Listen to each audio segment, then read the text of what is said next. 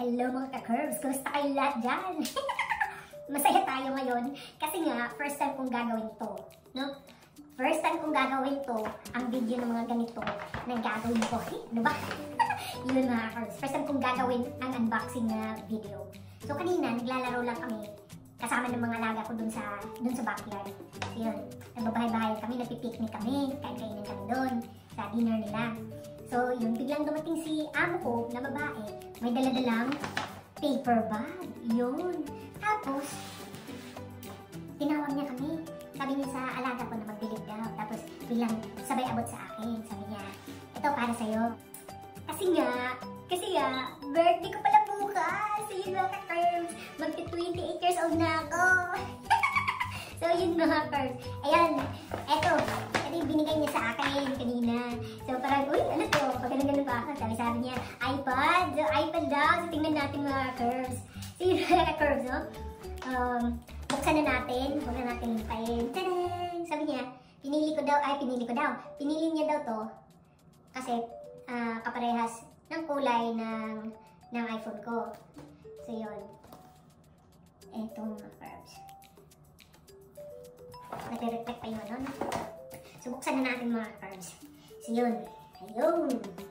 Buksan na natin. Lagay lang natin dito. So, ito mga curves. Ayan. 32GB iPad 7th generation. Ayan mga curves. Start na natin dito. Ang hirap. Walang naghahawak.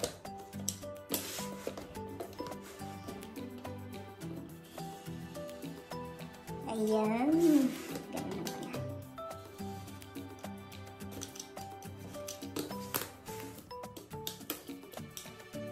So, yan mga cards. Open na natin, ano? Diyos, naku. Alam niyo mga cards, sa panahon ngayon, ano, kung papipiliin ako kung bibili ako ng ganito, hindi hindi ako bibili mga cards kasi mahirap na. Mahirap yung panahon ngayon. Ah, so, ito na mga ka-carbs. Buksan na natin. Ayan.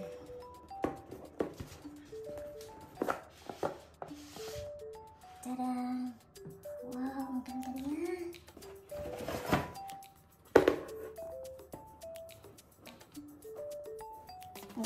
Dito sa...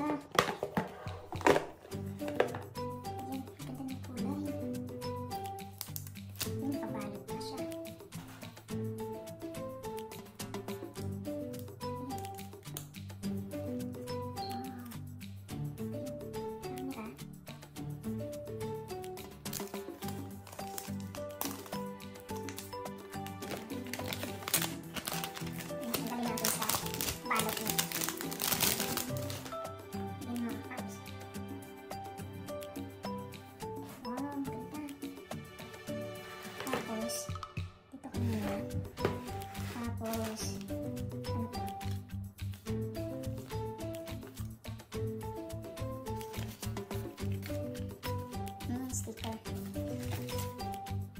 Um, uh, ano ata to? Instruction. Tapos ito, um, parang, paano ba to? Adapter. Ayan.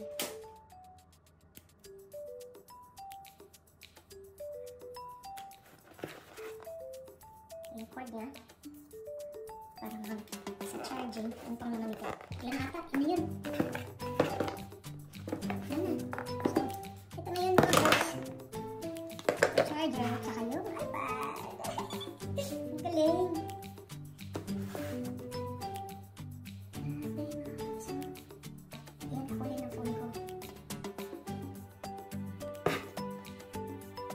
Yun mga carbs, no? Nakita na natin yung laman na paper bag na dala-dala ni boss kanina. So yun, ito, binalik ko sa box para hindi madumihan. so yun, mga carbs, ah, nagpapasalamat ako at nakatanggap ako ng ah, regalo para sa birthday ko. So hindi ko talaga ini-expect. Siyempre, apektado yung um, ah, negosyo nila, lahat-lahat, apektado tayong lahat, diba?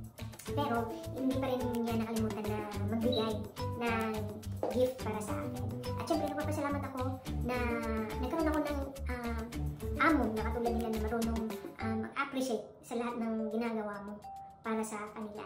No, hindi lang dahil ah, nabigyan ka naman nila ng ah, pasahod, tama na, okay na yun.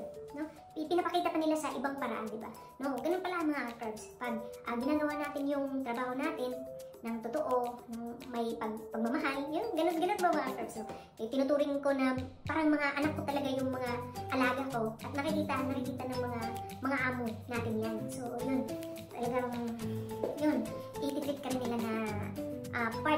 family. So, yun, sobrang saya ko lang mga ka-curbs dahil hindi ko talaga, wala akong plano na bumili ng mga gadget-gadget, ano. Noon meron, pero parang na ano na rin kasi gusto kong mag-ipon, mag-ipon muna. Ah, kasi mahirap na dito tayo sa abroad. Tapos, wala namang, ano, wala namang kasiguraduhan, no?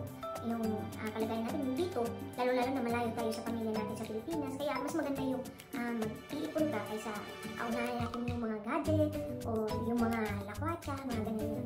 Siyempre, meron din yan. Pero sa panahon ngayon, lalo-lalo na ngayon, na pandemic, talagang walang-wala sa isip ko yan. No? So, iniisip ko, magpasalamat lang, mag-celebrate lang ng sobrang simple.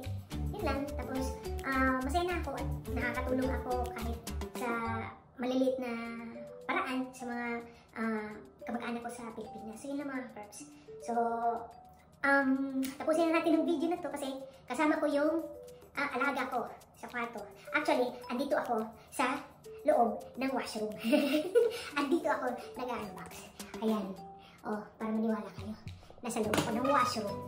At andito ako nakaharap sa kubeta. So yun mga curbs. Sa ulitin, bye-bye!